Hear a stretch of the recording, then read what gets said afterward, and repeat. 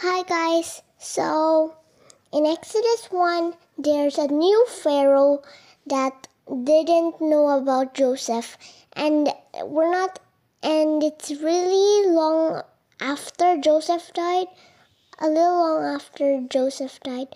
So the new Pharaoh, he's a bad Pharaoh. And at that time, there was so many Israelites in Egypt now. He was afraid that maybe they would, if they would attack. So which is why he ordered every baby boy in Egypt every Israelite baby boy should be thrown in the river Nile. But it's okay for the girls, let the girls live. And that's it for today, guys. Bye.